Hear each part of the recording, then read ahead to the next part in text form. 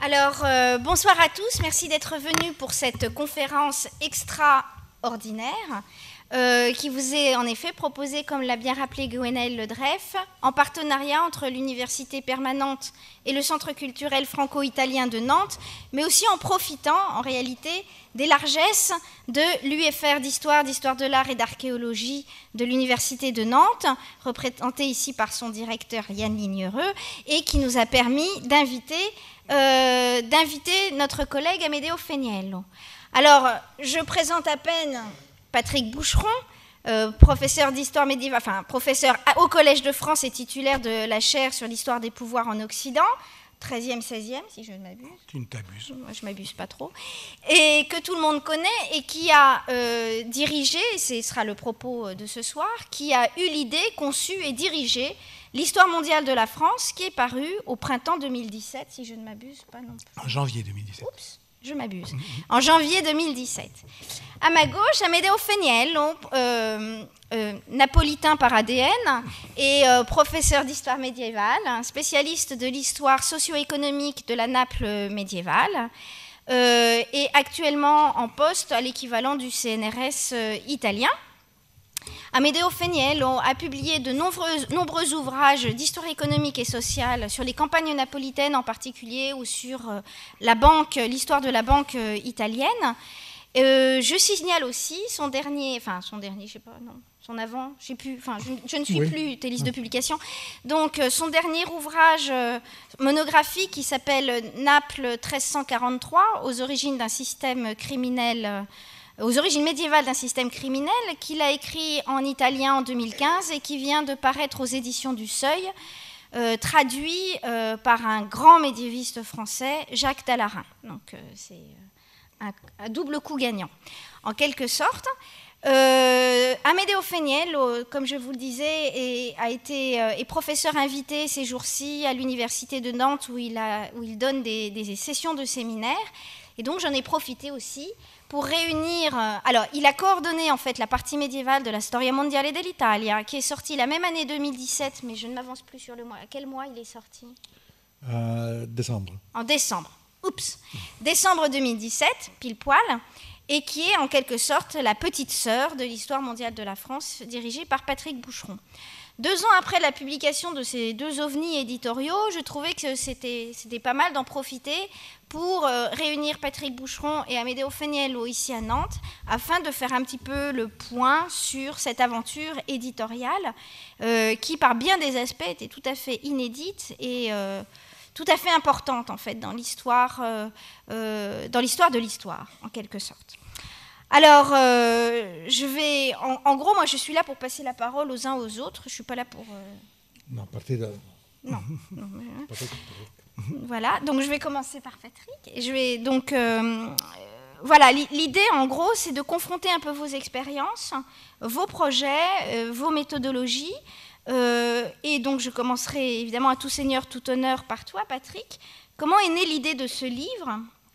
Et pour quand l'as-tu voulu? C'est-à-dire dans quel contexte as-tu préparé euh, ce projet? Euh, voilà, comment, comment as-tu organisé cette machine? En fait, en gros, c'est comment tu l'as conçue, puis ensuite comment tu l'as menée à bien. Oui. Merci Annick. Bonsoir à, toutes et à tous. Je suis très heureux euh, de parler de, ces deux, de ces deux livres, de ces deux aventures éditoriales, comme tu les appelles, parce que effectivement, ça me paraît important de ramener euh, cet engagement, cet engagement des historiennes et des historiens qui ont voulu euh, faire livre, en fait, et défendre par ce livre la cause des livres, euh, davantage au fond qu'un programme historiographique. C'est un projet éditorial, c'est l'objet livre que nous visions. Et je le dis d'emblée parce que ensuite, après, on a pu parler de ce que ça signifiait euh, du point de vue euh, historiographique de faire une histoire mondiale d'un pays, ce que ça, euh, les réactions nombreuses révélaient de, disons, de l'état idéologique du pays ou des deux pays, c'est important, mais initialement, il s'agit quand même, disons, d'un projet d'éditeur. Je suis éditeur au Seuil, j'ai d'ailleurs eu le la joie d'accueillir le livre, la traduction d'Amédéo de ce point de vue dans l'univers historique.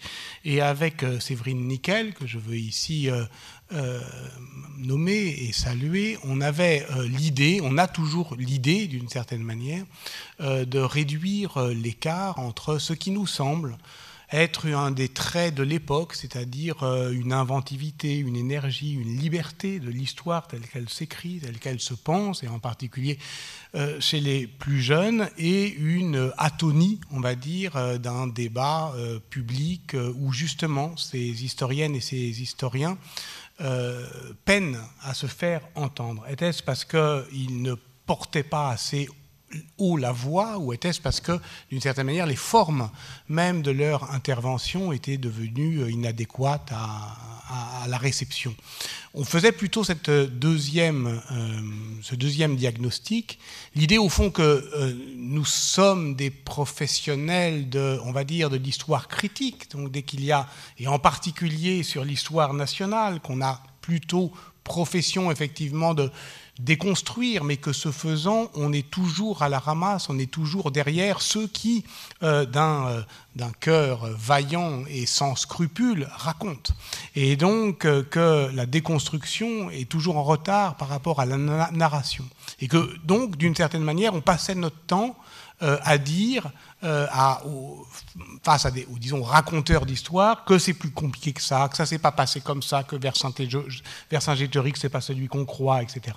Et donc on s'est dit que c'était un peu dommage, surtout euh, euh, parce qu'il y avait un contexte politique qui au fond, nous obligeait à, aussi nous positionner sur des questions, la question de l'identité, etc., qui n'étaient pas exactement nos questions d'historiens, mais qui, de toute façon, nous, au fond, nous, nous, nous obligeait euh, à, nous faire entendre sur ces questions-là, tenter de, trouver la voie, euh, trouver à la fois euh, un chemin et une adresse, la voie et la voie, E et X, pour, au fond, sortir de cet étau.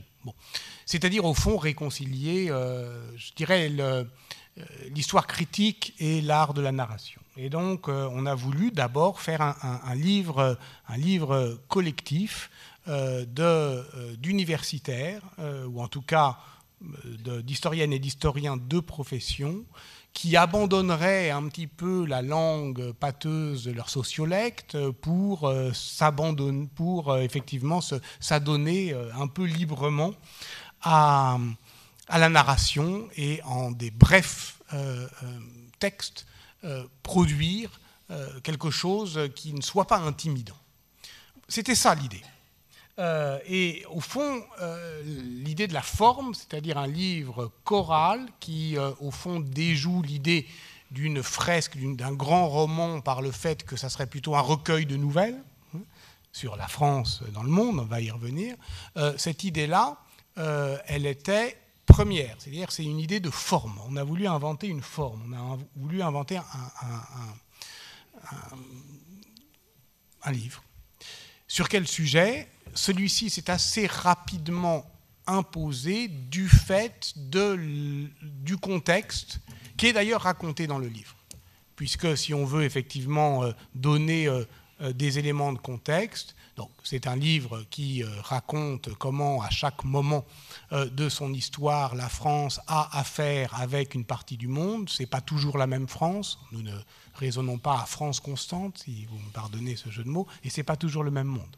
Mais euh, en tout cas, de la plus, du plus ancien on a choisi de commencer à la préhistoire, c'était une manière de, de, de désarmer la, la question, l'irritante question des origines, donc de, la grotte Chauvet à 2015, aux, euh, attentats et, même euh, plus particulièrement au 11 euh, janvier 2015. C'est la fin du livre parce que c'est le moment où il commence, c'est le moment où il s'invente, c'est le moment où il s'espère, c'est le moment où véritablement il s'engage, en 2015.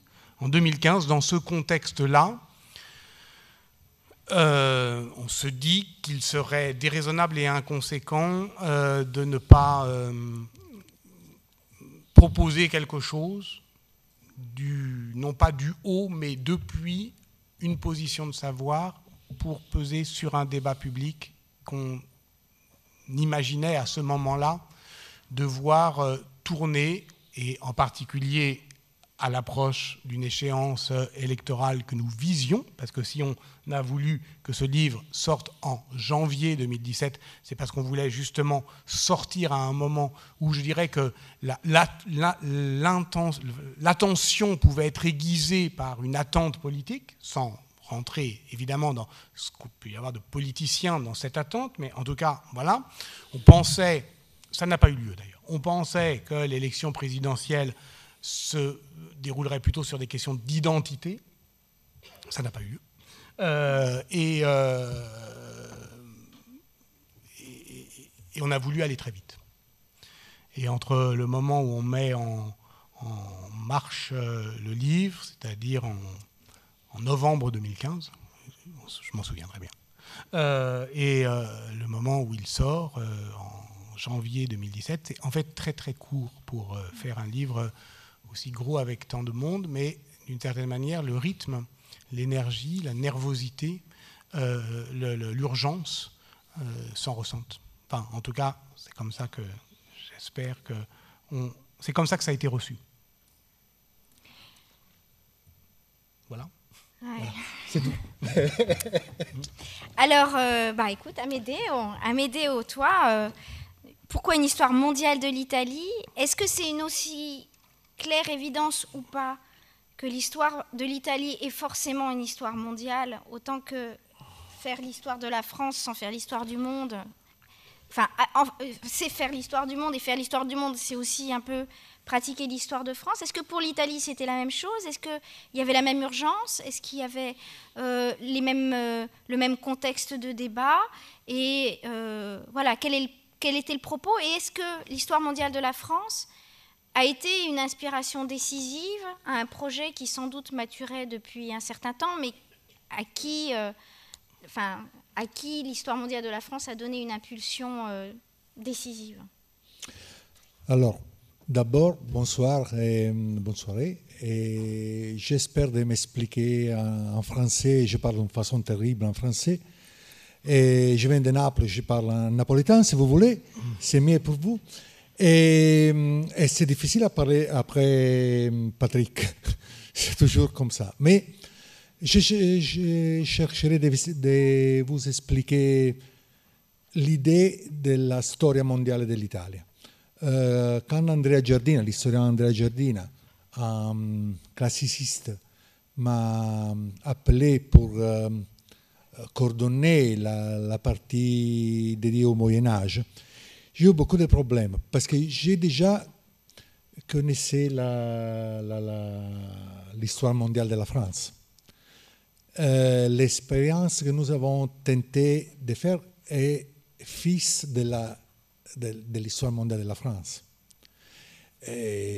L'avant-propos l'a écrit Patrick. Parce que nous savons parfaitement que la perspective, l'idée, les sujets, la, le projet était un projet qui est né ici, en France, et, et était difficile de traduire en italien l'idée, le même projet. Parce que l'Italie, c'est un pays un peu particulier. C'est un pays, je le dis sans problème, c'est un pays sans identité, mais c'est un pays avec à euh, identité multiple. Il y a l'identité de Florence, il y a l'identité de Venise, de Gênes. L'unité, c'est quelque chose qui est né euh, presque il y a deux siècles, presque. Et alors, il faut comprendre, il faut euh, partager un problème. La multiplicité de l'identité face au monde. C'est plus facile de parler de l'identité de Venise sur la Méditerranée dans le monde, ou de Gênes dans le monde, ou de Rome dans le monde, qui parler de l'Italie en général. C'est un problème complètement différent par rapport à la France. C'est l'hexagone, vous avez une unité, pas de multiplicité. Un pays qui, a été uni euh, après Jeanne d'Arc, plus ou moins. Enfin, c'est Michelet qui le dit. Hein. Et pour l'Italie, c'est complètement différent. Différent des langues, différent des idéologies, différent des cultures. Et alors, euh, comme est-ce qu'il était possible de parler de l'Italie mondiale, de l'histoire de l'Italie dans le monde Et alors, euh, nous avons fait un, comment dit, une sorte de... de, euh, euh, nous avons changé la, la facette, l'assetto, comment dit L'aspect. L'aspect. Alors, nous avons commencé à parler de, des choses complètement différentes. Euh, L'Italie, entre guillemets, euh, l'importance de l'Italie dans la culture, dans l'économie, dans l'idéologie, la naissance de l'université, la naissance de la banque, l'architecture, euh, la première fois qu'on commence à parler de l'intellectuel, la Renaissance, des, euh, de, de, de, de, melodrama, Verdi euh, ou Garibaldi, ou aussi de la mafia. C'est un sujet tout à fait italien que nous avons euh, exporté la mafia dans tout le monde et nous sommes très bien contents d'avoir fait ça. Non, c est, je rigole, mais vous devez penser alors à quelque chose de complètement différent. Pas de problèmes euh, de nature politique, mais quelque chose qui a des influences sur le monde. Le sujet de la monnaie, par exemple. La première fois que dans un foyer comme Florence, on va euh, utiliser l'or après 500 années, au 1252, et une révolution monétaire qui va changer la facette de, l'Europe. Et hum, la chose la plus intéressante a été créer les groupes pour travailler sur ça. L'enthousiasme des historiens italiens de participer à un projet comme la storia mondiale de l'Italie. Presque euh, 200 historiens de l'université qui ont, ont, dû faire un, grand travail sur euh, eux-mêmes, c'est-à-dire écrire pour le grand public. Euh, c'est difficile en Italie parce qu'il y a une grande différence entre l'académie écrire pour l'université, pour l'académie, écrire pour le grand public. Nous n'avons pas de grands... Euh, Est-ce que vous utilisez les, les, les, mots divulgation? Oui, diffusion, vulgarisation. Diffusion. Mmh. Nous n'avons pas de diffusion. L'université, en général, a un peu de, de peur de, de se confronter face au public. Mais l'histoire mondiale d'Italie a été un laboratoire, tout à fait un laboratoire pour présenter et pour donner la possibilité à des universitaires, des, gens qui viennent de l'académie, de faire, d'écrire quelque chose de compréhensible. Pas des, articles très difficiles ou des recherches euh, euh, difficiles à présenter, mais des problèmes naturellement, nous avons utilisé la, la, la même euh, structure de l'histoire mondiale de la France, c'est-à-dire les modèles extraordinaires de l'histoire mondiale de la France. Des dates, un petit euh, euh, résumé et après l'article, une petite bibliographie. Nous avons euh, préservé les modèles. La chose la plus intéressante, peut-être que nous parlerons plus avant, qu'après l'histoire mondiale de la France, nous avons fait aussi une histoire mondiale de la Sicile. Hmm. On y Parce que les, les modèles, c'est un modèle de succès. La, la chose la plus ex- extraordinaire de, de l'histoire mondiale de la France, que c'est qu'il s'agit d'un modèle exportable dans tout le monde. On en reparlera après. Ah. Alors, du point de vue pratique, c'était comment de comment vous avez choisi vos auteurs? C'était comment de gérer 100, 200 auteurs? C'est comment de leur passer derrière pour euh, leur dire de revoir leur copie à des grands professeurs d'université en leur disant bon, euh, c'est incompréhensible, il faut tout refaire.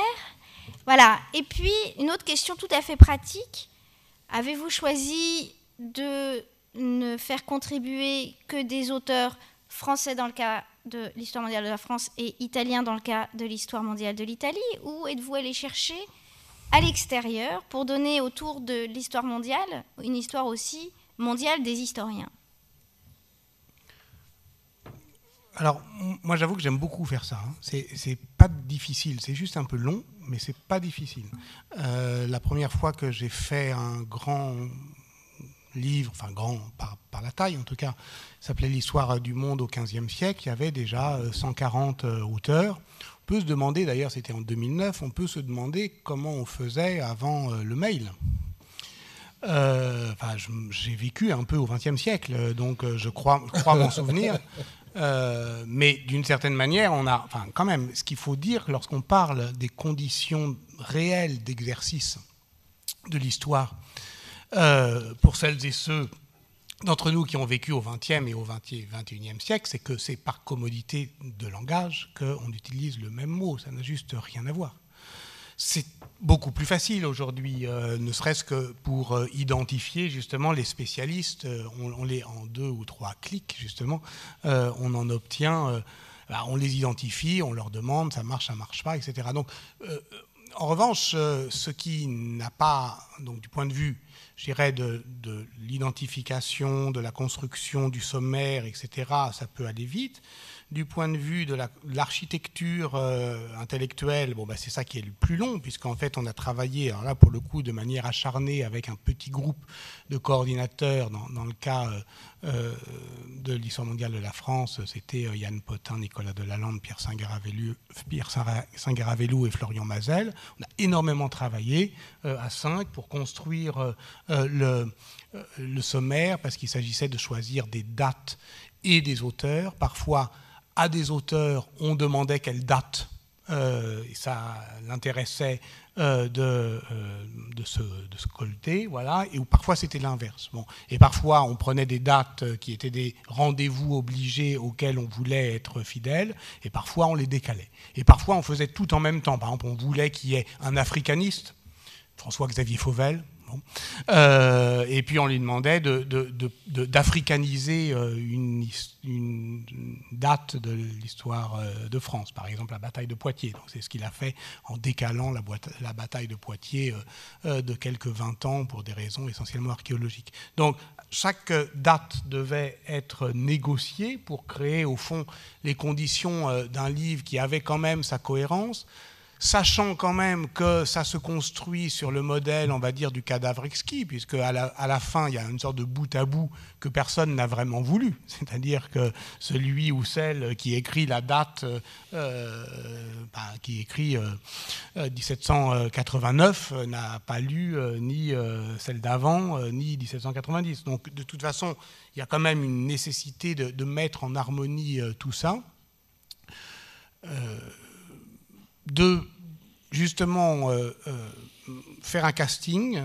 Alors, il n'est pas parfait, notre casting. Euh, c'est très intéressant de voir que, et j'en suis très fier au fond, que nous sommes, par exemple, à ce jour, vraisemblablement, la- le livre qui, pas du point de vue de l'équipe de coordinateurs, quatre mecs, mais du point de vue des auteurs et autrices, est le plus féminisé, mais à un moment où on attendait qu'il le soit davantage. Donc il y a 34% de femmes, qui correspond en gros euh, à euh, la part dans l'enseignement supérieur, mais c'est pas assez.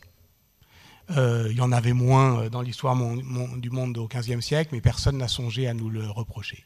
Et il y en avait beaucoup plus dans l'histoire mondiale de la France, et on nous le reproche. Et c'est normal, et j'en suis fier. Je suis fier euh, de euh, vivre ce moment-là où, justement, ce qu'on faisait il y a encore 3-4 ans n'est plus possible aujourd'hui. Donc, il y a évidemment des équilibres. Le plus important, c'est pas enfin, c'est un équilibre important. Euh, il y en a d'autres en termes institutionnels, en termes d'école. Et là, il est important quand même, comme d'ailleurs l'histoire du monde au XVe siècle, de remarquer que c'est un livre qui, qui n'est issu d'aucun d'aucune institution, d'aucune école, d'aucune appartenance, voilà, qui tente quand même euh, de construire euh, voilà, une sorte d'histoire partagée en langue française. Ça, c'est effectivement, euh, là encore, une possibilité de critique. On en a reçu plein des critiques, hein, et, et, celles qu'on entendait, on va y revenir sur la question de la réception, en France, elles pouvaient être véhémentes, mais elles étaient moins disons, aiguës que celles qu'on peut recevoir aux États-Unis ou ailleurs, sur ce sujet-là, par exemple. Mais euh, sur la question de, la répartition, au fond, euh, des historiennes et des historiens, bon, bref.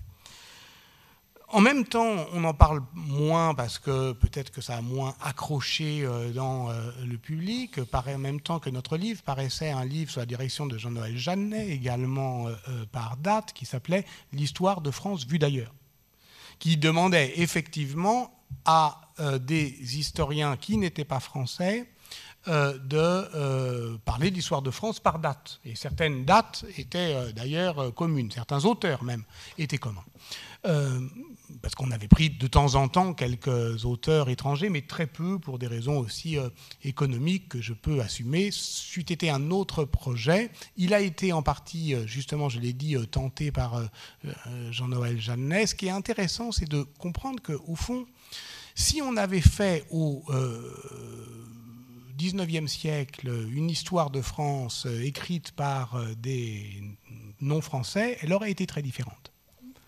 Aujourd'hui, il n'y a pas de raison qu'un historien, parce qu'il est italien, belge ou canadien, parce qu'il faut dire aussi que euh, les étrangers de Jean-Noël Jeanne étaient assez modérément étrangers. Hein. Ils étaient euh, belges, suisses, anglais, allemands, ils étaient quand même assez rarement euh, japonais ou africains. Bon, donc finalement, eh ben, ça crée, on ne fait que vérifier que l'histoire s'est mondialisée.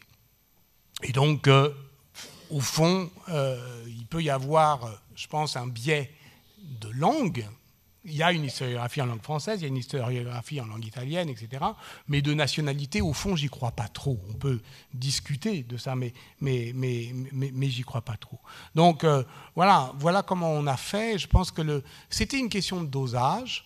Euh, en particulier entre les dates qui surprenaient et les dates qu'on attendait, entre effectivement les, historiens et historiennes de la France à qui on demandait au fond de se, euh, dépayser, et d'autres qui étaient des historiennes ou historiens de, de pas la France, comme je sais pas Romain Bertrand ou François-Xavier Fauvel, à qui on demandait de prendre en charge une date française. Dans les deux cas, ça créait effectivement euh, une rencontre expérimentale. Et je, me permets d'insister là-dessus. Au fond, ce livre et moins le manifeste d'une histoire à venir, parce que cette histoire, elle existe déjà. Elle, consiste au fond à faire constater que c'est ainsi que l'histoire s'écrit, pas seulement en France, dans, le monde entier, que l'histoire transnationale, c'est la manière assez ordinaire, au fond, aujourd'hui, euh, d'écrire euh, l'histoire, que d'une certaine manière, pour des raisons que euh, ausculte le livre, la France était un peu, je ne veux pas dire en retard, mais en retrait de ce point de vue-là. Parce que si euh, Bender pouvait, peut écrire euh, de l'histoire transnationale des États-Unis, Thomas Bender, que c'est une, nation parmi les nations, justement, il se trouve qu'il y a quelque chose dans l'histoire de France qui fait obstacle ou qui résiste à cette banalisation. Oui, évidemment, la France est une nation parmi les nations, mais il y a quelque chose dans son histoire qui fait qu'à certains moments de cette histoire, elle a l'exorbitante ambition euh, de d'englober le monde entier et que ces moments universalistes euh, de l'histoire de France, euh, le pire, le plus inquiétant ou le plus exaltant selon l'endroit où on est, c'est que le, monde ne la dément pas toujours.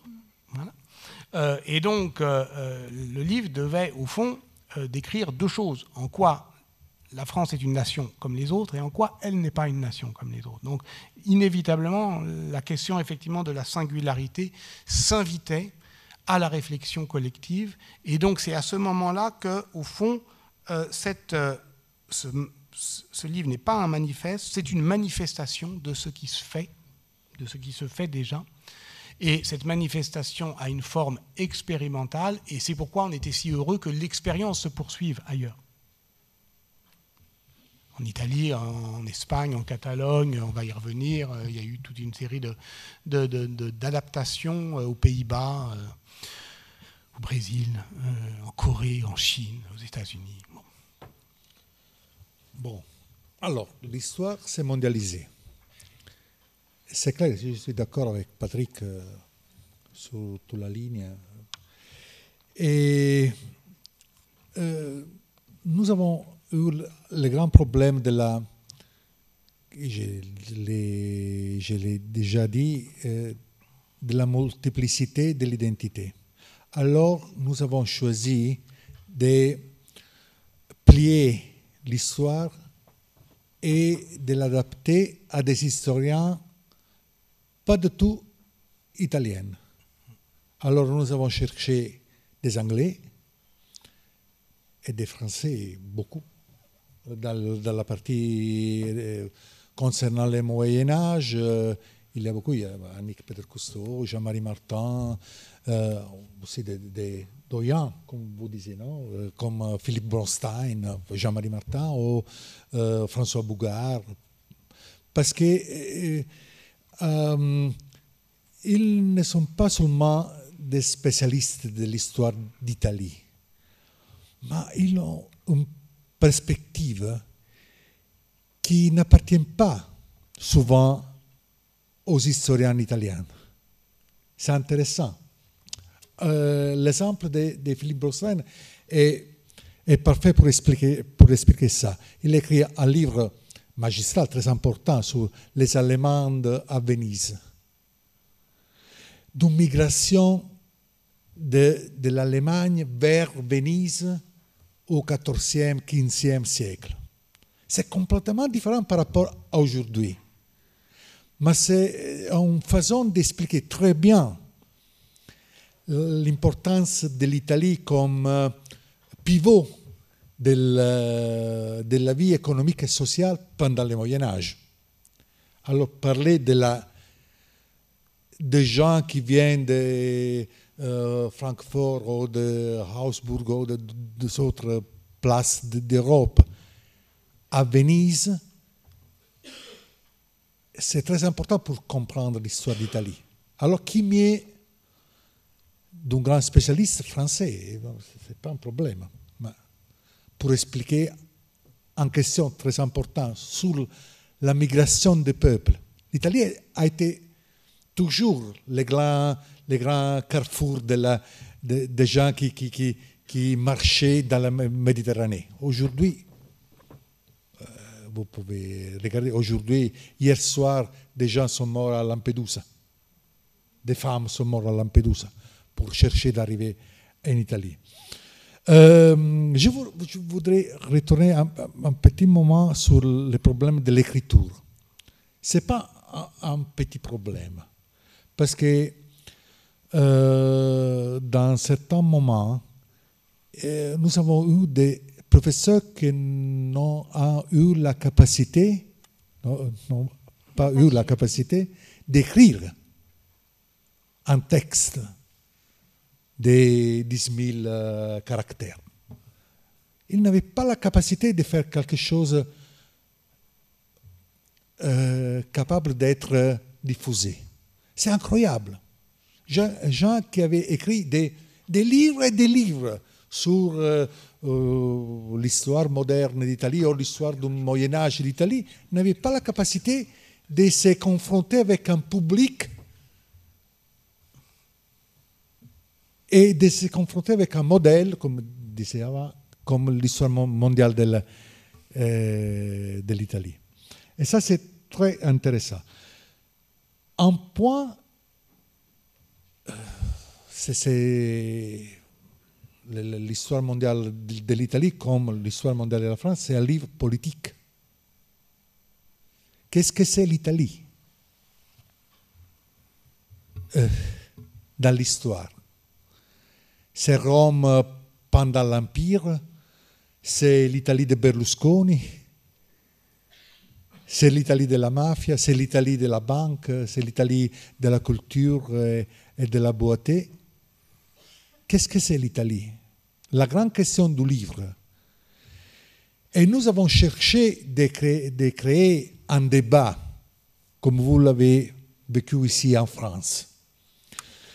Mais l'Italie, pays vraiment étrange.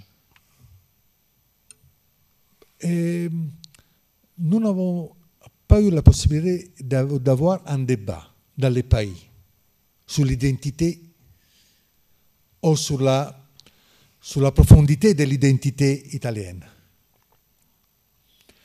Et euh, j'ai raconté à Nick un épisode que je pense incroyable.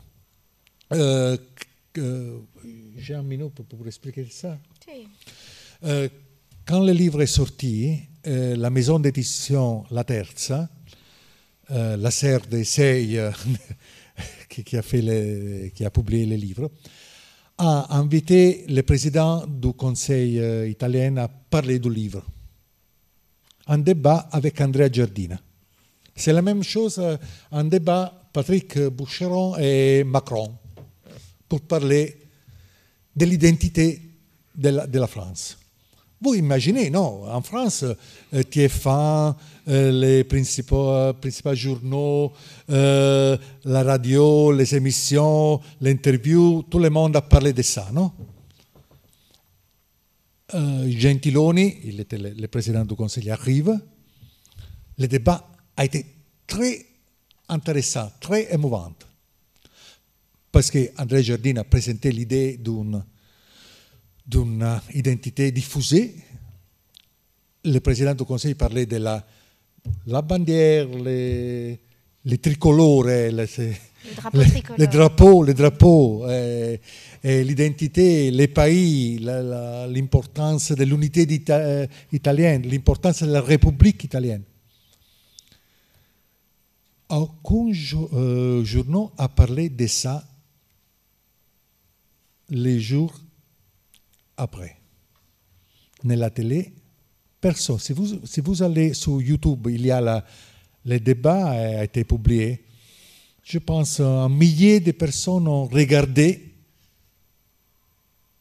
C'est le grand problème d'Italie, du déclin, déclin italien.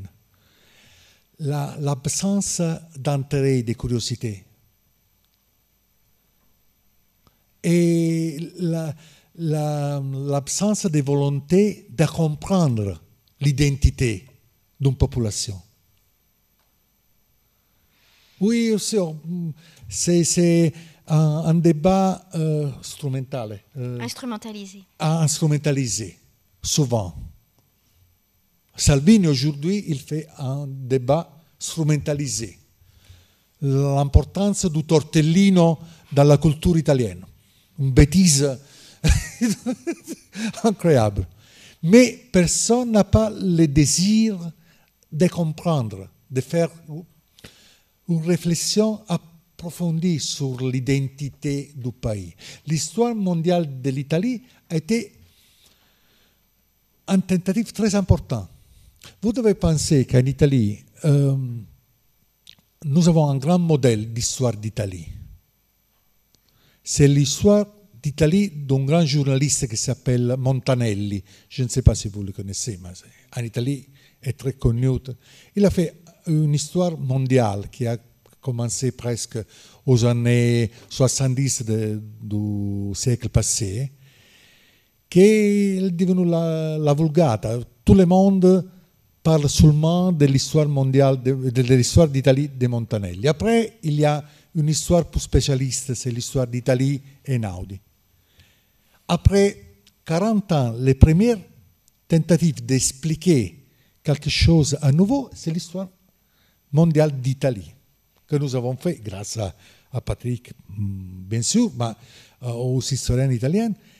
Et l'espérance était que tout le monde pouvait parler de ça. Tout le monde, oh ben, une partie du monde.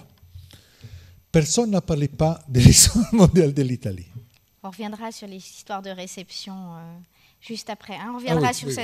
Mais c'est un important thème parce qu'en réalité, c'est même presque ce qui, pour moi, a motivé le débat. C'était surtout la question de la réception comparée en France et en Italie. Et, de son asymétrie. Et de son, de son asymétrie totale qui dit beaucoup, en fait, de, des rapports dissymétriques des, de, chacun de ces pays et de chacune mmh. de ces populations par rapport à leur histoire. Tu voulais rajouter quelque chose? Oui, ah oui, tu m'avais pas répondu sur l'écriture. Ah oui, l'écriture, oui, je n'avais pas répondu. Merci effectivement de, rappeler ça, Médéo. Euh, euh, Là encore, euh, je pense que la forme, pardon, mais c'était tellement important pour nous, euh, parce qu'au fond, une bonne partie de ce que le livre a à dire, il le dit par sa forme même, par son allure narrative, par le fait que justement il ne parle pas d'une même voix, qu'il tente euh, d'accorder ses désaccords à partir d'une polyphonie qui n'est pas entièrement accordée, mais qui n'est pas complètement cacophonique non plus. Et donc ça veut dire que chacun a quand même son style, son allure narrative, mais que nous, on devait quand même, c'est la question que tu me posais, je n'y avais pas répondu, disons, lisser cela, plus ou moins. En particulier, euh, atténuer toutes euh, les professions de foi un peu trop véhémentes, toutes les proclamations. C'est-à-dire que moi je pense que L'histoire est comme euh, la guerre pour Napoléon, un art tout entier d'exécution. Ce qu'on a à faire, on doit le faire. On ne doit pas dire ce qu'on fait, on doit le faire et faire constater qu'on l'a fait. Voilà.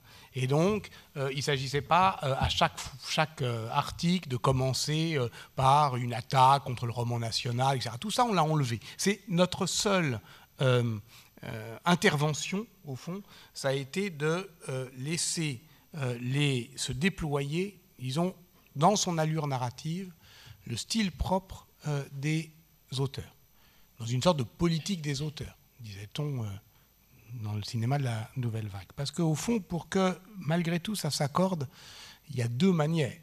Soit on a dès le départ une, euh, un cahier des charges très strict, soit on a effectivement une intervention très lourde. On a tenté une voie moyenne qui, au fond, portait sur deux, enfin, avait deux instruments. Le premier, c'était la forme.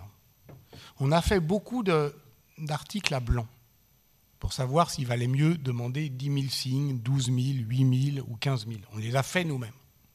Et on s'est rendu compte que le calibre 10 000 signes, lorsqu'on demandait à quelqu'un de raconter à la fois un événement, mais aussi une mémoire, de raconter euh, les historiennes et les historiens en train d'avoir du mal à raconter cet événement, c'est-à-dire au fond de faire aussi un récit de méthode, que ce récit de méthode soit aussi une intrigue théorique, faire tout ça, Yann, tu le sais bien, tu as bien vu qu'au fond, quand on a à faire tout ça en 10 000 signes, on ne peut pas le rédiger, on est obligé de l'écrire. C'est-à-dire qu'on est obligé d'engager quelque chose dans l'écriture, de risquer quelque chose dans l'écriture. C'est aussi euh, simple, limpide et nécessaire que les formes en poésie. C'est-à-dire que la contrainte crée inévitablement. Donc 10 000 signes, on n'a pas besoin euh, de euh, dire aux auteurs il faut que vous alliez vite, que vous. Hein, parce qu'ils sont obligés, de toute façon, de, trouver une forme narrative. C'est un hein. défi. C'est un, défi. Voilà. Et l'autre chose, pour que quand même ça puisse s'accorder, avant que euh, l'orchestre euh, euh, démarre, commence à jouer ensemble, il faut donner le la. Et le la, pour nous, il était donné par deux choses. La date, ça va sortir en janvier 2017. Donc comme c'était, tout le monde était français, tout le monde savait ce que voulait dire janvier 2017 et l'exergue. On avait, dans le mail très court de commande, on, avait, on, lançait comme une bouteille à la mer, ou comme au fond l'amorce, mais l'amorce au sens de ce qui commence et de ce qui met le feu aux poudres, cette phrase de Michelet, du jeune Michelet, dans l'introduction à l'histoire universelle, ce ne serait pas trop de l'histoire du monde pour expliquer la France. un peu mystérieux, mais débrouillez-vous avec ça. Ce ne serait pas trop de l'histoire du monde pour, pour expliquer la France. C'était au fond le diapason qui a permis à chacun de s'accorder. Et au fond, euh, chacun a proposé son interprétation de cette phrase de Michelet. Ah, c'est beau. Et qu'est-ce que tu as fait, toi, à Médéo Féniel, quand il y avait un professeur qui écrivait de manière incompréhensible? Qu'est-ce que tu faisais de la notice? Nous avons cassé, et du professeur, nous avons et cassé du les professeurs. Non, c'est comme ça, terrible.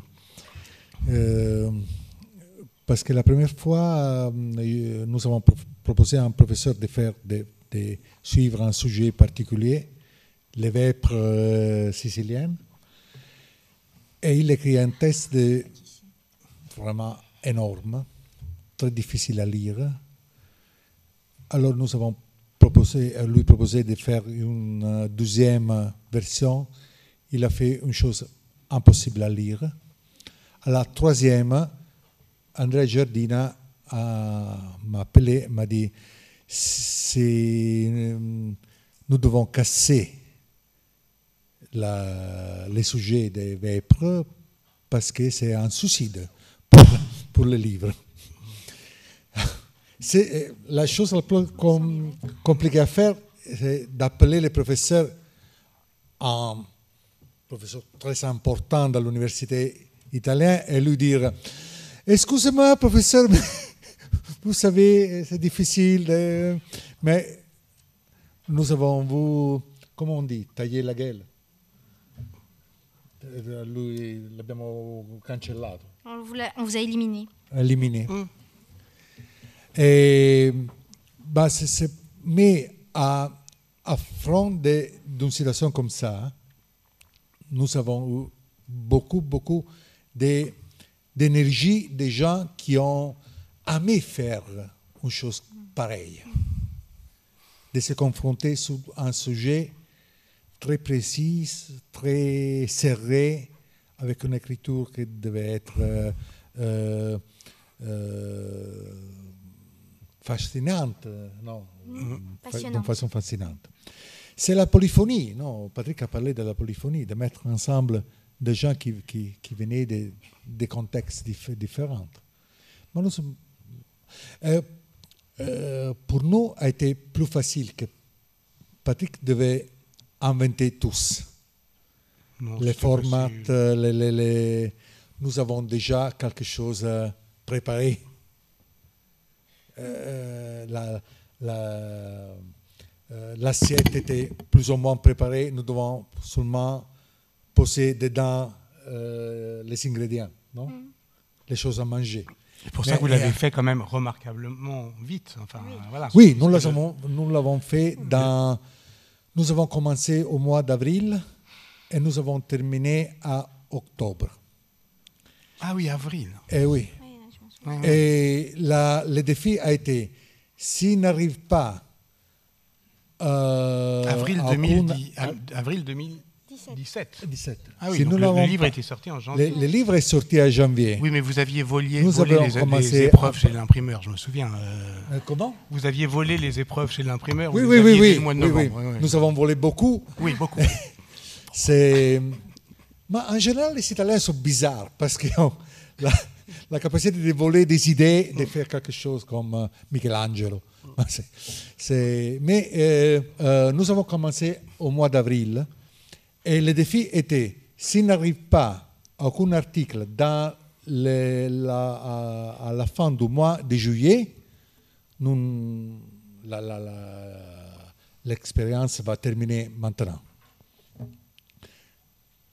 D'une façon incroyable, à la fin du mois de juin, nous avions déjà plus de 100 articles. Euh, L'enthousiasme a été une chose vraiment frappante. Euh, nous avons participé et chaque jour avec les mails. Et, nous avons, et Jardine a fait un, un travail énorme parce qu'il a, a lu tous, a ordonné tous, et a fait un, un grand travail. Euh, les derniers articles sont arrivés à la fin du mois d'août. Pas mal. Alors, enthousiasme, plaisir. Ouais, c'est vrai que a c'est. Oui, Ah ouais, ouais, c'est vrai faire. qu'il faut reconnaître que c'est quand même une joie euh, féroce. Hmm. Parce que, euh, voilà, on, sait que- on lance une bouteille à la mer, on dit vous avez trois mois, ça je pense que vous avez eu raison, c'est pas la peine de faire plus. Enfin, on demande à des spécialistes de ramener, de rassembler en 10 000 signes ce qu'ils savent, ce qu'ils savent vraiment. Donc il suffit qu'ils l'écrivent, qu'ils le mettent euh, en haut de leur pile et qu'ils n'attendent pas pour l'écrire. Donc euh, voilà. Et donc, au bout de deux mois et demi, on commence à en recevoir un, deux, quatre. Enfin, c'est comme, euh, comme une pêche miraculeuse. On a un, premier, euh, voilà, une première touche, puis deux, puis trois, puis, puis euh, ensuite, après, chaque matin, euh, dans sa boîte mail, on en a cinq, dix. Voilà. Et euh, c'est vrai que ça prend forme euh, comme ça. Après, euh, comment refuser des textes Oui, ben oui. Nous, on pratiquait une sorte de riposte graduée. Enfin bon, voilà. Si ça vous intéresse, on a, on a livré nos archives à l'institut, à l'IMEC, l'Institut de la mémoire de l'édition contemporaine. Donc, vous pouvez aller voir dans 60 ans. super. Ouais, oui, dans 60 ans. hein. Voilà. Euh, Le, le grand problème, c'est, pour nous, a été pas le Moyen Âge, pas l'époque euh, antique, C'est normal. pas la Renaissance, mais la contemporanéité. Ah. Euh, Je ne sais pas, Patrick, si pour vous a été la même chose.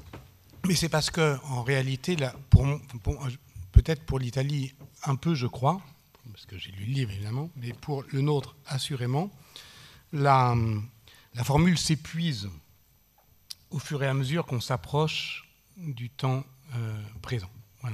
C'est-à-dire que autant elle est, me semble-t-il, pertinente, enfin, elle est expérimentale pour l'époque euh, préhistorique et ancienne, elle est intéressante, elle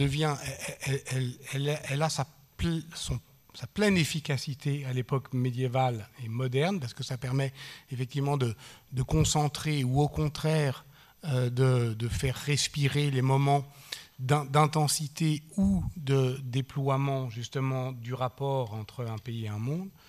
Mais ensuite, après, à partir du XXe siècle, ça n'a pas vraiment de sens, une histoire euh, de l'Italie ou euh, euh, de la France par date. Voilà. Parce qu'on dit, bah, pourquoi vous n'avez pas mis euh, 1900 Alors, il n'y a pas le chemin des dames? Oui, bon. C'est- c'est- il y a 14, on- de toute façon, il en faudrait combien des dates entre 14 et, 14 et 18 pour traiter le problème? Voilà. C'est-à-dire qu'à la fin, au fond, on, on produit des échantillons et on est amené finalement euh, à accentuer un petit peu la provocation. Je suis extrêmement content, effectivement, de notre choix sur 1917.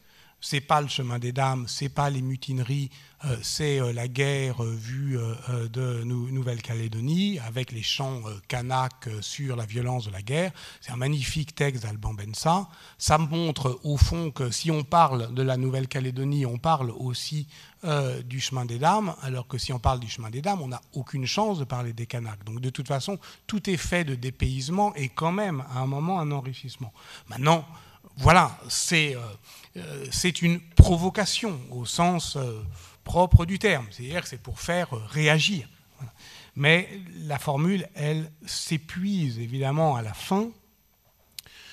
Et c'est évidemment pour ça que c'est sur la Seconde Guerre mondiale, en gros, euh, pas seulement, mais quand même beaucoup, que se sont euh, concentrées euh, toutes les attaques, parce que c'est le plus facile. Je voudrais euh, souligner euh, un aspect très intéressant, c'est le- euh, la question que, que m'ont posé beaucoup de personnes, beaucoup des amis, des lecteurs surtout, c'est pourquoi vous avez choisi des dates plutôt que des autres? Mm.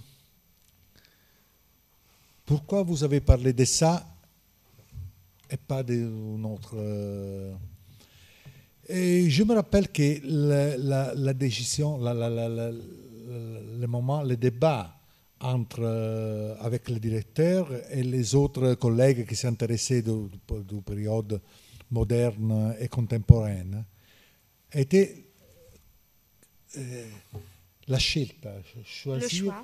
Le choix de quel sujet, quelle date. Pour le Moyen Âge, plus ou moins, les choses peuvent fonctionner, plus ou moins. Pour la contemporanéité, les débats, à certains moments, nous sommes arrivés, euh, le football, les problèmes de la... c'est un problème très intéressant, hein, parce que euh, euh, en Italie, aux années 1973, il y avait un grand match, Italie contre Allemagne, au Mexique pendant... Et nous, nous voulions euh, moi, Andrea Giardina, nous voulions mettre ça dans l'histoire mondiale. Parce que, euh, pas pour les matchs, mais l'histoire qui, qui, est derrière. C'est-à-dire la première fois qu'on pouvait regarder quelque, quelque chose à la télé à couleur. Ou les satellites pour faire des émissions euh, d'une partie à l'autre de la planète. C'est vraiment intéressant. Les autres, plus jeunes que, nous, disaient non. L'Italie qui a gagné la Coupe du Monde en 2016. Une question terrible, une heure de débat. De, non, acharné. Sur l'autre question, pas du tout. c'est bizarre. bizarre. On parle toujours de, de, football en Italie. Mais pour la contemporanéité, le problème était énorme parler de Gramsci. Et pourquoi nous devons parler de Gramsci aujourd'hui Parler des de, de lois particulières sur les euh, sanité, la santé mentale. la santé mentale. Euh, L'univers de euh, la Foucault, non de, de, les défauts en Italie. L'enfermement. Oui, l'enfermement. Hein pourquoi parler de ça? Et nous n'avons pas parlé de Berlusconi, par exemple. Selon moi, il était un sujet très important, le berlusconisme dans le monde. Nous avons parlé du fascisme dans le monde, mais pas du berlusconisme dans le monde. Selon moi, il était un sujet à vérifier, euh, d'en parler. Alors on va arriver sur le gros du truc quand même. Enfin, moi, ce qui m'intéresse euh, beaucoup, c'est la réception comparée dans, vos deux, dans nos deux pays. Je dis nous parce que l'Italie, c'est presque mon deuxième pays. donc, euh, alors on va commencer sur euh, des choses très terre à terre. Voilà, nombre d'exemplaires vendus, accueil dans la presse globalement. Et puis après, ben voilà, la, question polémique qui peut être, par exemple, quand tu dis on a on s'est demandé pourquoi, enfin, on nous a demandé pourquoi on avait choisi une date comme une autre. Ça peut être assez neutre comme question. En France, j'ai l'impression que c'était toujours avec un arrière-plan, euh, mais c'est une erreur d'avoir choisi telle date. Il aurait fallu prendre, et pour telle raison, c'est-à-dire que la France, elle se construit par cette date et pas par, par, cette autre-là. Enfin bon, bref. Donc voilà, on commence euh, gentil avec des choses chiffrées, et puis après, on va entrer un peu sur la, question polémique. Oui. Euh, Ou pas d'ailleurs, hein, c'est pas polémique. Non, mais le, livre L'histoire mondiale de la France, donc, est sorti en janvier 2017, a tout de suite effectivement attiré l'attention euh, des médias. Euh, il y a eu voilà, la couverture de Libération, par exemple, hein, la couverture du, livre, comme si c'était un événement. Bah, donc ça nous met à hauteur de Yann Wax, quoi. Enfin, des choses très valorisantes quand même pour nous. la barre est Bah oui. et donc, ça, avec un, niveau de, oui, de débat public euh, qui, mais on ne va pas non plus faire comme si on ne l'avait pas, sans doute pas espéré, mais enfin si on ne s'y était pas attendu, qui devient important.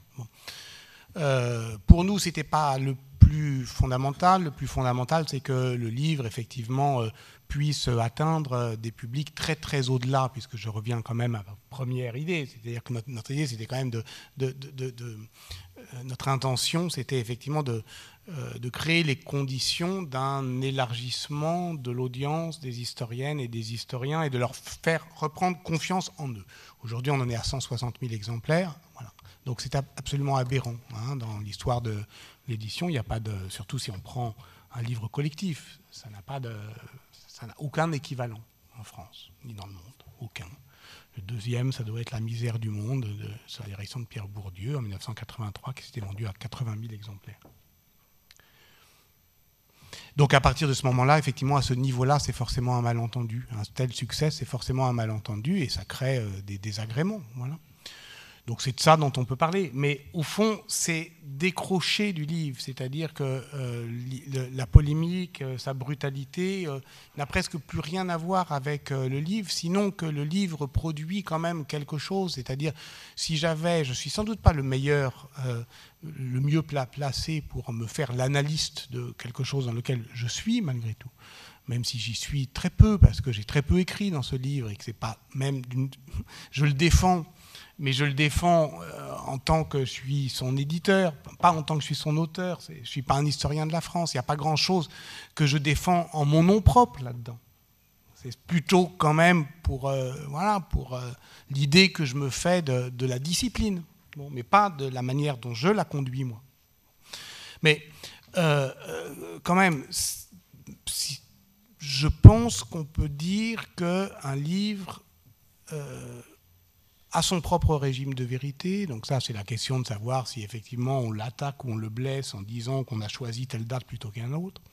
Et produit aussi ce que Michel Foucault appelle justement un effet de vérité. C'est-à-dire que voilà, là, on a touché un air et on peut observer que en France, le corps n'a bougé que d'un côté. Il était hémiplégique. On s'attendait effectivement à avoir des critique symétrique, euh, seule euh, la, droite identitaire s'est euh, exprimée et s'est acharnée et a été entendue, ce qui dit quelque chose de notre pays, rien du livre, mais ce qui dit quelque chose de notre pays. Ailleurs, c'était différent. Mais ça a aussi des, sans doute la raison, et moi j'étais aussi en Italie, on a fait des, on a fait des euh, des rencontres ensemble. Et bien sûr que euh, la différence, je ne veux pas empiéter sur ce que tu vas dire, mais la différence effectivement de nervosité du débat vient du fait assez simple qu'en disant que l'Italie a une histoire mondiale, on ne blesse aucun orgueil national, au contraire, c'est plutôt valorisant, alors que par une étrangeté que je continue à ne pas m'expliquer, beaucoup de gens pense qu'on rapetisse la France en voyant son histoire en grand. C'est assez perturbant. Ça peut perturber. Alors c'est vrai que l'histoire. En parlant des instituts Pasteur, en parlant de que, que, tout ça, ça serait une agression.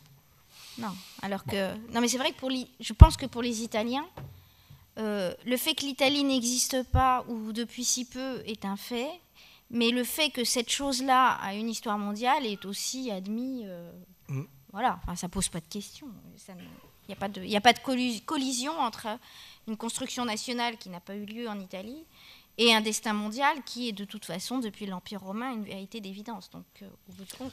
Et, d'ailleurs, les premiers, juste, les, premiers, les premiers pays à avoir adopté avec enthousiasme ce modèle et l'avoir adopté d'une certaine manière en, ayant un débat qui était moins saillant, mais au fond plus serein aussi, qui est plus confortable aussi, c'est l'Italie, c'est les Pays-Bas et c'est le Portugal.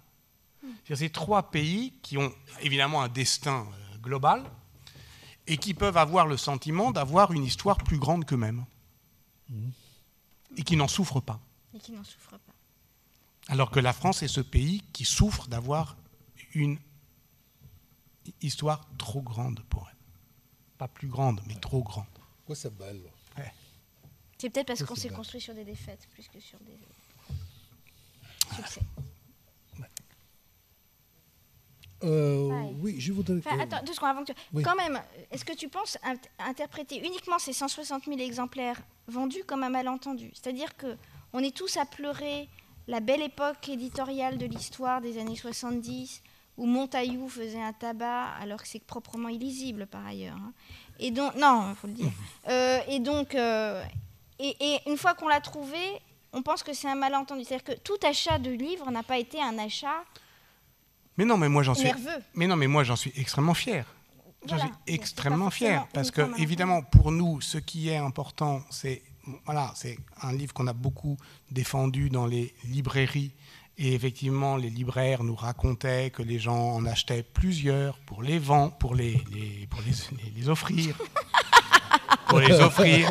Et euh, que ça soit euh, la grand-mère à son petit-fils ou l'inverse. Voilà. Euh, et que euh, on a aussi euh, atteint un public que les éditeurs n'atteignent plus, qui est le public des actifs, des trentenaires et quarantenaires, qui est le plus difficile au fond à atteindre et pour qui effectivement on doit proposer des lectures non intimidantes, fractionnées. Donc la, la forme du livre sans doute euh, le favorisait. Donc tout ça, bien sûr qu'on en est, euh, on en est assez euh, fier et que ça a des effets directs sur euh, euh, le, marché. Voilà, c'est-à-dire que pour moi, c'est tant que je suis éditeur, ce livre, quand on nous dit, mais alors, est-ce que vous allez le, décliner? On ne le décline pas. Ce n'est pas une recette, enfin, d'autres peuvent s'en emparer. Mais nous, on ne le fait pas. En revanche, ça a redonné confiance à tout le secteur. Et donc, et aussi à des, auteurs qui, je l'espère, écriront différemment. Voilà. C'est- juste, c'est ça qu'on voulait.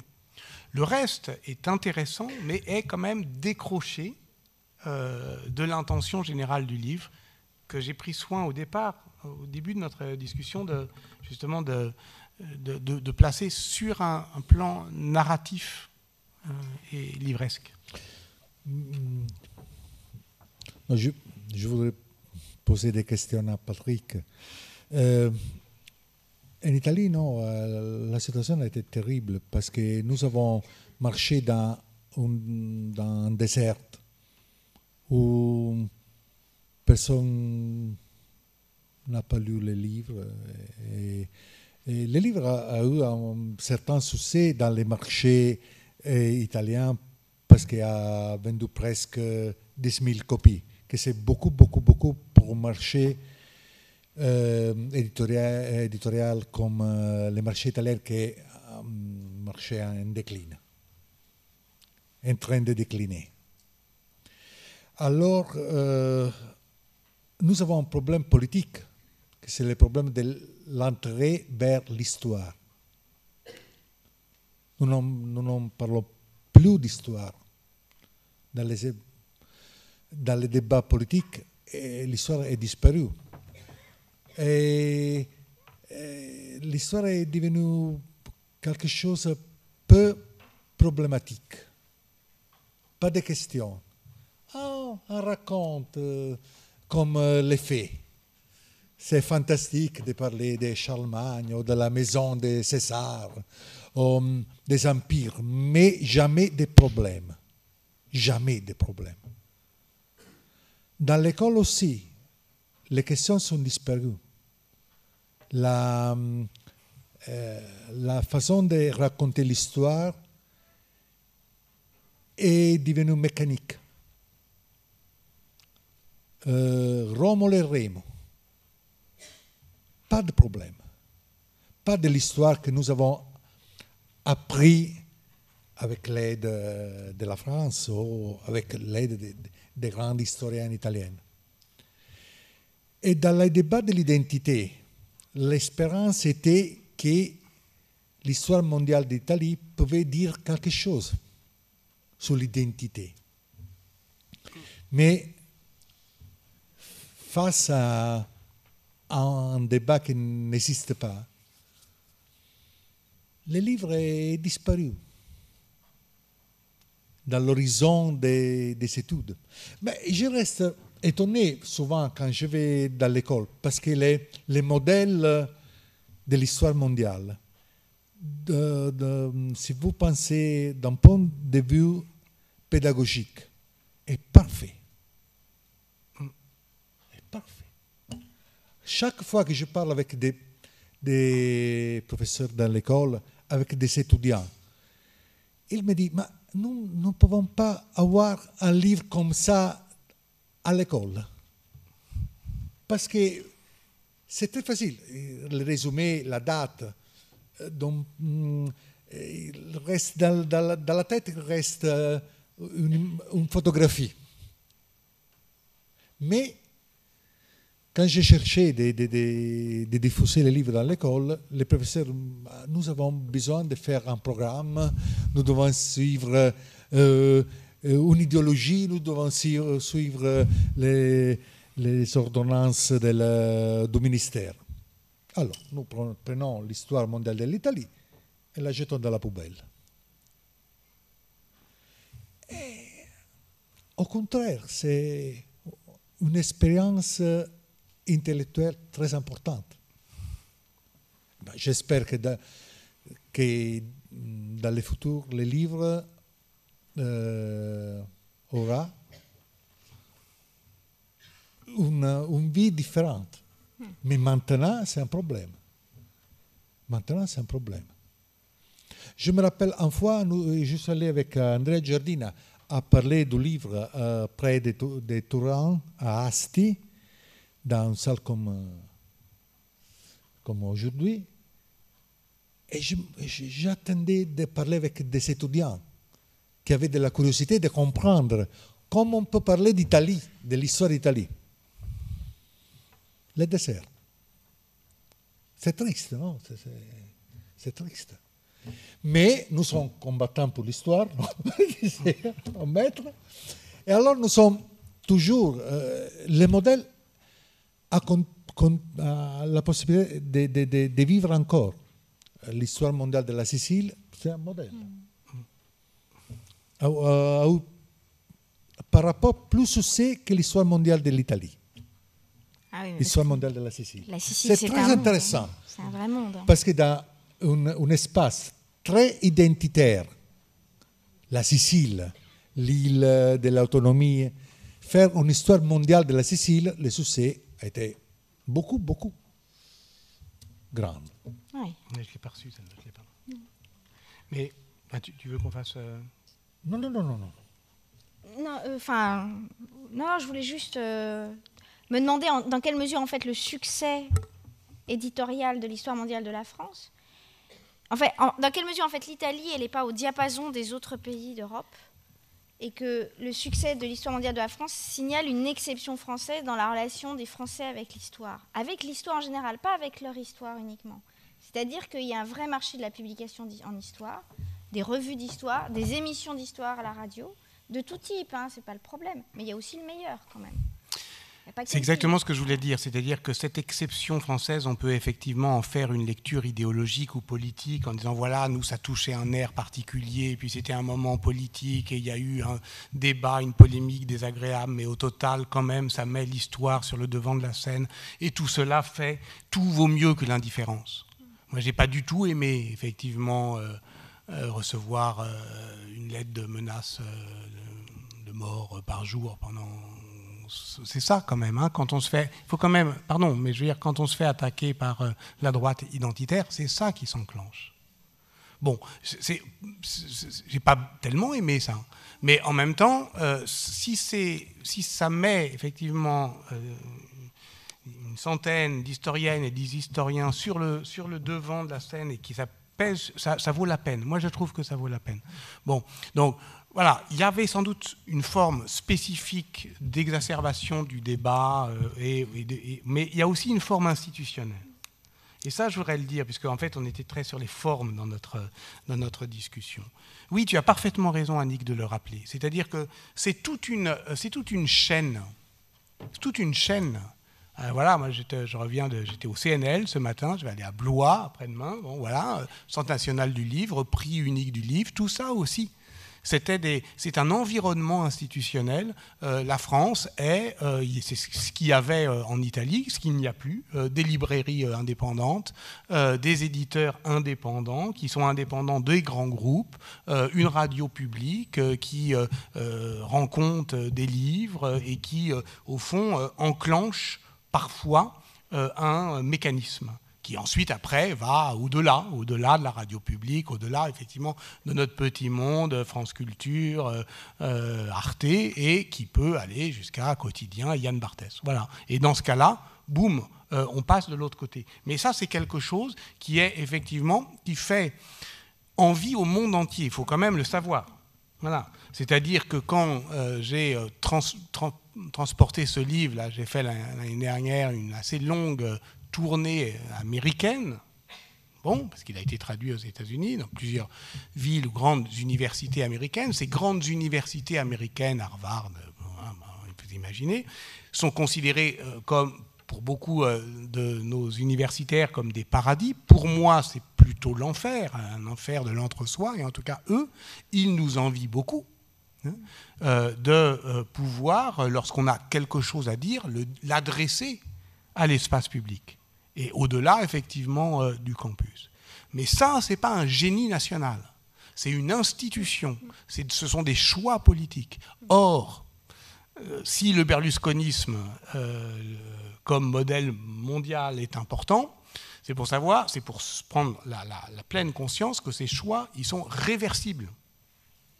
C'est-à-dire que l'Italie, qui était donnée comme pour modèle quand même, euh, du point de vue éditorial, sa capacité de traduction, etc., un certain nombre de choix industriels, euh, intégration à des grands groupes, etc., catastrophes télévisuelles, bref, berlusconisme, euh, fait qu'en 20 ans, ça peut disparaître. Donc voilà, je me permets de dire que tout cela, ce sont des formes institutionnelles et politiques, euh, financées voilà, publiquement, et que c'est de ça l'université, mais pas seulement, et c'est de ça dont on doit prendre soin. Prendre soin. On terminera avec ça. Merci beaucoup Amédéo Feniello, merci beaucoup Patrick. Est-ce que le public souhaite s'exprimer? Le public est-ce qu'il y a des questions On a le temps, hein Des Vous levez la main. Des remarques Ah, Catherine. Pas de questions compliquées. Hein On articule le français. Alors, c'était par là. C'est vous, madame. Merci, bonsoir. Oui, c'est comme Monsieur Fienel, vous avez parlé de, l'utilisation de votre livre qui n'a pas eu du tout de réception dans l'enseignement. Et j'avais cru euh, lire ou entendre à un moment donné, euh, à propos du, livre que tu as dirigé, Patrick, que beaucoup d'enseignants s'en servaient, dans le secondaire euh, notamment. Dans le supérieur aussi. Hein. Oui, j'ai cette impression. Dans le supérieur, c'est une évidence. C'était pas du tout. C'était pas du tout attendu ou espéré ou prémédité, mais de fait, ça se fait et nous, on, essaye d'accompagner ça, ou en tout cas, dès qu'on nous invite, euh, les coordinateurs ou moi, dans des établissements ou des collègues d'enseignement secondaire veulent nous faire voir ce qu'ils font avec ça, on y va bien volontiers parce que c'est. Alors il faut savoir aussi que c'est arrivé à un moment qui était un moment où euh, le livre consolait d'une déception, euh, qui était la déception de la réforme des euh, programmes scolaires qui, qui, un petit peu sur une vision plus étriquée voilà, de l'histoire de, France, justement. et donc, certains s'en décourageaient. Et d'une certaine manière, le livre permettait de, de montrer que finalement, il n'y a pas de sujet. Enfin, je veux dire, en soi, les royautés africaines, ce n'est pas plus intéressant que la cour de Louis XIV. En soi. C'est-à-dire qu'un cours sur les royautés africaines euh, du XIVe euh, euh, siècle peut être aussi pénible qu'un cours sur la, cour, de Louis XIV exaltante. Et donc, évidemment, si on lit les articles de Yann Lignereux ici présents, ben, on aura effectivement une possibilité de faire de ces nouvelles injonctions programmatiques qui quand même ramènent l'enseignement de l'histoire au récit national, de le faire respirer, je dirais, de l'intérieur. Je pense que c'est ça qui a été euh, reçu comme plutôt une bonne nouvelle et un encouragement, c'est que finalement, quel que soit le programme, on peut faire quelque chose. Euh, et donc, euh, c'était, au fond, je pense que ça a été reçu comme une manière de ruser avec les injonctions politiques. Qui ne se sont pas améliorées depuis. Non. Donc, d'autres interventions? Oui, madame. Euh, est-ce que euh, cette euh, histoire mondiale de la, France pas, ne peut pas être aussi vue comme un, complément pour élargir notre regard sur l'histoire et nous attirer justement sur des, points qu'on a et des points de vue qu'on n'en avait pas euh, remarqué, mais qui n'est pas. Vous ne voulez pas remplacer euh, tous les livres d'histoire qui existent euh, déjà. Vous voulez aussi nous faire prendre conscience de quelque chose d'autre, de nous élargir le regard. Enfin, moi, il me semble que je vois ça un peu comme ça. Peut-être n'est-ce pas ça? Et d'autre part, je remarque qu'en France, malgré tout ce que vous avez dit en conclusion sur le, le, déploiement de l'histoire dans toutes les sphères, les vrais euh, débats euh, contradictoires, mettons, avec des idées opposées, c'est quand même pas si facile. Hein. C'est souvent euh, très consensuel sur un choix de livre ou sur un choix de film ou sur autre chose. Je trouve souvent les vrais débats contradictoires sur des idées ou, l'importance d'événements à portée plus ou moins universelle, c'est pas si facile que ça. Et d'autres ma question euh, pour monsieur, l'italien, euh, est-ce que, euh, je n'ai pas trop bien comment la tourner justement, hein, est-ce que vous avez choisi une date pour alors, le rôle de la papauté enfin, en Italie, malgré que depuis quelque temps, la cité du Vatican est indépendante Merci. Ah, s'il fallait une seule date pour la papauté, surtout ça. Vas-y, vas-y. Vas non, c'est euh, vous avez touché un, un, point très très compliqué. Et c'est le problème que nous nous, nous sommes posés, euh, c'est les problèmes des empires, c'est-à-dire l'Italie dans l'Empire romain et l'Italie dans l'universalité euh, de Rome, l'universalité de la christianité. Et, c'est difficile parce que euh, l'Italie mm, va basculer beaucoup entre deux points, c'est-à-dire euh, une identité municipale et l'identité universelle. Euh, Rome, c'est une ville euh, moyenne pendant le Moyen Âge, avec un commune, mais dans le même moment, elle, le centre du pouvoir de l'Église. Alors, où est l'identité? Où est l'histoire d'Italie est toujours comme ça, va basculer entre un universalisme d'un côté, et de l'autre côté, c'est une idée euh, des petits, euh, euh, petits patries, petites villes, la vie rurale. C'est très intéressant ça. Et mm, je crois que dans l'histoire mondiale de l'Italie, nous avons cherché de répondre à la question que vous avez posée. Vous le devez lire. En italien. Je confirme. Et voilà, en italien, la, en italien, question hein. qui suit, c'est ah, la J'espère de le en français. Et ce que tu dis, Améléo, c'est important parce que effectivement, ça, vous, ça répond aussi à votre première question, Madame. Je vous en remercie. C'est que de toute façon, euh, écrire l'histoire, c'est choisir. Et si on choisit euh, une date, c'est pas parce que euh, on dénie à celle qu'on n'a pas choisie la dignité ou pire encore l'existence. Ça, c'est fou quand même qu'on ait pu nous reprocher de nier ou d'être euh, même de certains ont dit fake news parce qu'on choisissait de parler d'André Malraux plutôt que de Jean-Paul Sartre. là, je,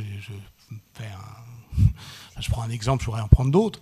C'est pas parce qu'on ne dit pas que Sartre n'a pas existé si on choisit euh, euh, d'exemplifier euh, ce que c'est qu'un grand intellectuel français mondialisé à partir de la condition humaine plutôt qu'à partir de qu'est-ce que la littérature. Simplement, on choisit. Mmh. donc, de ce point de vue-là, effectivement, on déplace et on élargit. Ça, vous avez raison de le dire. Euh, les livres, nous ne croyons pas au grand remplacement, ni pour rien, surtout pas pour les livres. On n'écrit pas un livre pour en remplacer d'autres, on écrit un livre pour augmenter la bibliothèque. Voilà, c'est ce qu'un auctor au Moyen Âge n'est rien d'autre que quelqu'un qui augmente, voilà, qui élargit, qui ouvre les horizons. C'est vrai que d'une certaine manière, euh, euh, on peut nous faire euh, le reproche d'écrire pour des gens qui ont déjà peut-être une idée de l'histoire de France. C'est-à-dire qu'on ne part pas de zéro. Ce n'est pas un livre sur les bases. Mais moi, en tant que prof, et je m'attache à l'être encore, avec la même intensité, même si ce n'est pas dans les mêmes conditions, j'ai toujours cru, penser que c'était un piège de dire on va d'abord dire les bases et on dira les choses intéressantes après. Parce que les choses intéressantes, on n'y vient jamais finalement. Voilà. Euh, alors, il vaut mieux suggérer qu'assommer. Donc, euh, bien sûr que, au fond, si on se décale un petit peu euh, et qu'on parle plutôt que du 18 juin 1940, du 26 août 1940, parce que dans ce cas-là, on va dire, on va se titrer Brazzaville, capitale de la France libre, on suppose effectivement, d'ailleurs on le rappellera dès les premières lignes, que euh, le fait qu'il euh, y ait un type qui s'appelle De Gaulle qui ait euh, lancé un appel le 18 juin à Londres n'est pas totalement ignoré, mais que c'est plus intéressant de de, rappeler que Londres ne sera pas la capitale de la France libre, mais Brazzaville, ce qui permet ensuite euh, de euh, déployer euh, une analyse sur, au fond, ce que l'Afrique coloniale a en termes militaires, économiques et politiques apporté à la libération de la France. donc ce décalage, effectivement, nécessite un effort du lecteur, bien sûr. Euh, et, c'est vrai que quand parfois l'effort est récompensé, c'est plutôt une bonne nouvelle.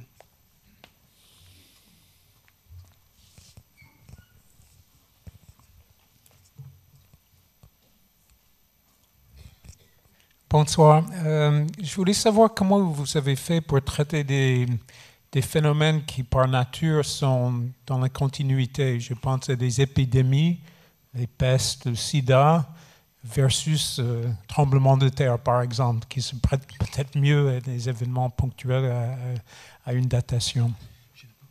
Alors, alors là, te lo spiego un attimino. Allora, come fai per trattare delle cose sul lungo tempo con una sola data? Per esempio, le epidemie, la peste. Quindi la peste nera, c'è una sola data, ma poi... Uh, vas-y, vas-y, vas-y. Ouais.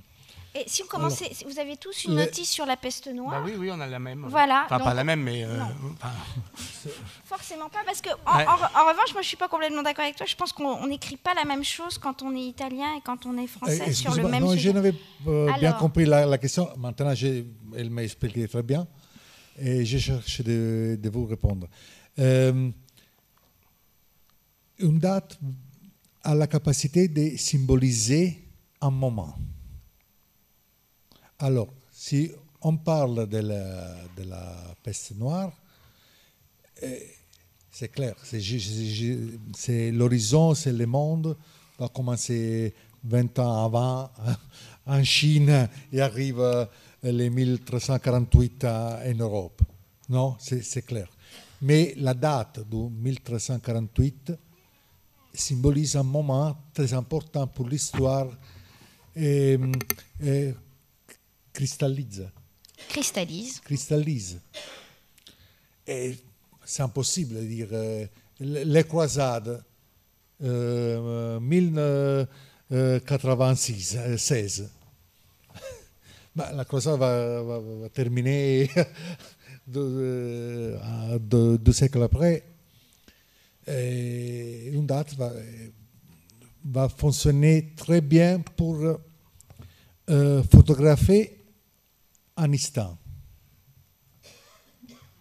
Alors, pour la peste noire, dans la Storia mondiale et l'Italie, vous avez choisi 1347 pour l'histoire mondiale de la France 1348, c'est normal parce que ça. Oui. Alors que nous avons choisi. C'est important ça. Nous avons choisi les 1347 parce que parce que dans un foyer sur les barres noires, pour la première fois, les Mongols ont utilisé euh, une, arme bactériologique. Ils ont euh, catapulté des, gens morts pour la peste à l'intérieur de la ville de Caffa, ou, Latana. Caffa. Caffa, Et nous avons choisi les 1347 pour par- parce que c'est le moment du de, de- de- commencement. Du début, ouais. du début, excusez-moi, du début. Euh, Et que c'est dû aux Italiens. difficile. Je comprends que Non, mais le Patrick, début, est- le début est dû aux Italiens, mais très loin de l'Italie. très loin d'Italie. C'est la, 1340. c'est la globalisation de la, Voilà. de la peste noire euh, Ça révèle le- les réseaux marchands italiens très loin. qui ont la capacité de, de, de, pour- dans le même moment des marchandises, mais aussi un petit, un petit euh, euh, c'est la Yersinia pestis qui a le plaisir de voyager sur des sourcils. Nous avons nous aussi la peste et le choléra, nous avons euh, Yersin et Pasteur, nous avons le sida. Il y a un, un article, 1984, Michel Foucault est mort, euh, qui euh, en fait euh, parle de Foucault, mais aussi parle de ce qui deviendra euh, euh, l'épidémie euh, du sida. Et, et, et- et- vous avez raison d'attirer notre attention là-dessus, parce qu'au fond, ces moments-là sont ce qu'on appelle volontiers des événements de longue durée. Le premier article qu'on a testé, qu'on a, envoyé à tout le monde, c'est l'article Martyr, c'était euh, l'article sur euh, le choléra euh, de Nicolas Delalande, euh, choléra de 1832. Ce qui est d'ailleurs au passage assez euh, ironique, puisqu'on nous a reproché de euh, penser que tout ce qui était bien venait d'ailleurs. Bon, on s'est fait la main sur le choléra, on n'est pas absolument pour le choléra. Enfin, je veux dire, c'est pas. euh, pas- Tu préfères la peste, toi je préfère la peste Ouais. personnellement, voilà. C'est le médiéviste qui Euh, parle. mais, mais vous avez raison, de toute façon, il faut ramener.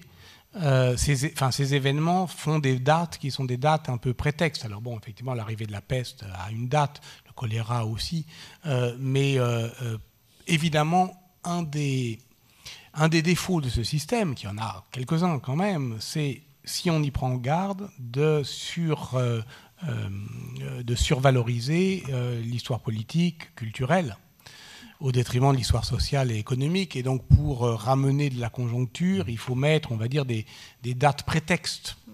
Des dates, peut-être. Des dates prétextes, voilà, qui, qui nomment donc une date de défrichement, une date de construction de cathédrale, une date, euh, voilà, qui, qui au fond euh, n'a pas la même intensité d'événementialité, mais qui en fait désigne un moment.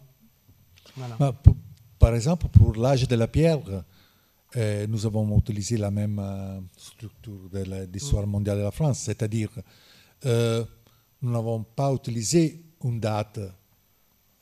10 000 euh, avant Christ, parce que nous n'avons pas de, de- de- de- de traces pour choisir une date en particulier. Et, mais c'est intéressant parce qu'il il faut utiliser la tête beaucoup pour, pour chercher des solutions, non, des solutions compréhensibles. Et avec des stratégies aussi. On pourrait dire la même chose d'ailleurs de l'histoire environnementale, hein, parce que 1816 y est évidemment. c'est- c'est- Voilà, dans les deux cas. Euh, là, pour le coup, euh, c'est commun aux deux livres. euh, le- voilà, le climat, comme, comme au fond, communauté de destin et de danger. Bon. Voilà. J'ai trouvé ça très surprenant d'apprendre que les universitaires italiens avaient eu tant de difficultés à se plier au format qui, selon moi, est un format assez courant de l'article, en fait. Euh, Est-ce que ça veut dire qu'il n'y a pas de revue d'histoire en Italie? Et je pensais aussi à tous les formats euh, plus récents que les revues, comme euh, qu'on trouve sur le web. Je suis surprise qu'il n'y ait pas ce passage-là qui, qui aide à former ces- cette société de, de gens qui sont un peu au courant, euh, euh, dont, dont a parlé Patrick Bouchon pour la France, et dont vous avez regretté l'absence pour l'Italie. Oui, alors, j'ai bien retenu la première partie, mais comme j'étais en train de traduire, est-ce que la seconde partie, vous pourriez Parce juste que la redire? problème. euh, Non, mais non, tu n'as aucun problème. C'est quoi la première partie? La, la, première partie, c'est que vous étiez surprise que les universitaires italiens se soient pliés si difficilement au format court parce que c'est le format de l'article académique, si j'ai bien compris. Oui, ou le format de tout ce qu'on peut trouver sur le web. Enfin, même si, par exemple, euh, la réponse est euh, euh, personne n'a les sous pour faire des revues d'histoire en Italie qui sont lues par des pas forcément par des universitaires, pas forcément non plus par euh, le monde entier, mais enfin euh, par, euh, par, par, des gens qui s'intéressent, qui s'intéressent au sujet. Il y a le web. Et du coup, je, je suis très très surprise de, de ça. Alors, je viens des infos.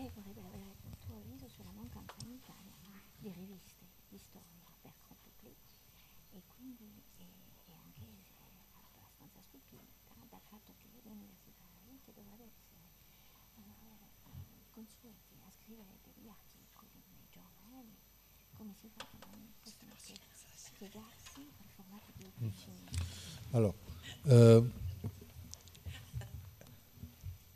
euh, la réponse est plutôt complexe. Euh, c'est-à-dire, nous, nous, avons beaucoup de revues en Italie d'histoire, très spécialisées, très anciennes, qui sont nées, beaucoup sont nées au début du XIX siècle. La rivista storica italiana elle est née en 1832, je, pense, plus ou moins. Et le problème, c'est des aptitudes culturelles. Euh, souvent, l'incapacité de l'académie de, de s'expliquer. L'histoire mondiale de l'Italie a été je, l'ai déjà dit, un laboratoire enthousiaste, des gens qui ont eu la possibilité d'écrire d'une façon différente, d'être libre. L'écriture de, de l'histoire est très difficile. C'est l'écriture la plus difficile à faire. Parce qu'il ne s'agit pas d'un travail de, de fantaisie mais vous êtes toujours euh, ancorati. Ancré. Aux sources. C'est difficile d'écrire l'histoire. C'est pas facile. Écrire un roman, euh, c'est vraiment facile. Mais écrire avec des sources devant, c'est compliqué. Beaucoup, beaucoup compliqué. Parce qu'il faut faire toujours un travail euh, d'interprétation des sources, de compréhension des sources et de transformation des sources en, écriture. Alors, souvent, c'est difficile pour des gens qui ont l'habitude d'écrire des choses compliquées, de faire les choses simples. L'histoire simplifiée, c'est pas une histoire simple à écrire. Souvent, c'est plus difficile à écrire. Si je dois expliquer le féodalisme à un garçon de 10 ans, c'est plus difficile à le faire qu'expliquer le féodalisme à vous. Parce que je dois trouver des stratégies d'explication, d'écriture aussi je pense que en plus, quand vous appelez revues, en fait, les revues qu'a citées euh, Amédéo sont des revues scientifiques, donc où, les universitaires s'adressent à d'autres universitaires. En revanche, le marché éditorial de la revue d'histoire grand public est extrêmement faible en Italie. Et moi, je me souviens de Patrick Boucheron. Ça n'a pas toujours été le cas. Ça n'a pas et ce qui n'a pas été toujours le cas, c'est vraiment les effets du berlusconisme.